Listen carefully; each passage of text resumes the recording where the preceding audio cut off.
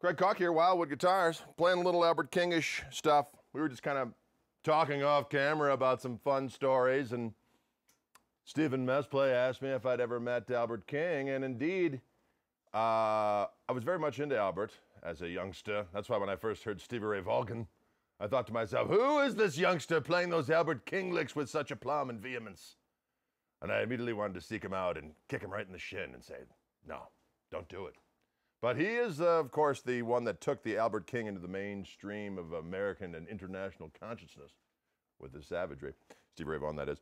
Uh, but I've met Albert King. I was actually playing with a friend of mine at uh, Milwaukee's Summerfest, a glorious event on the lakefront with pungent, acrid scents of the lakefront of dead fish and various septic systems are breathing into the Wisconsin morn and night.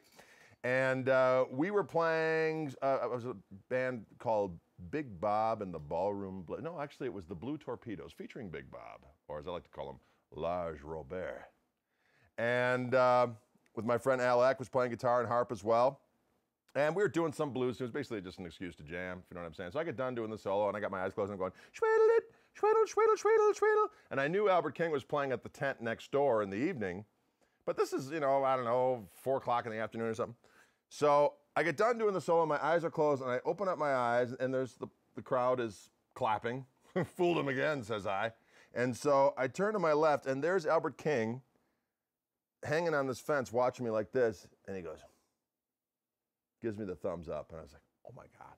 Because Albert, I don't know if you're aware of this, had kind of a reputation for being a little salty, a little, um, shall we say, cantankerous. And uh, so much so that when we got done, I didn't want to meet him because I didn't want him to ruin my whole thing. I did see him. I just, I just want to shake hands. He's like, all right. And he shakes my hand. But the other two guys went onto his bus and tried to get him to sit in with us. And he, they, he told them some things that are not camera friendly, ladies and gentlemen. It involved permutations on the Reproductive Act. Okay? That's all I'm going to say. But, anyways, Albert King, if you're not familiar with the ways of Albert King, I suggest you go on uh, the uh, international superhighway called the Internet and uh, explore some Albert King renderings, and you will feel the power of the glorious.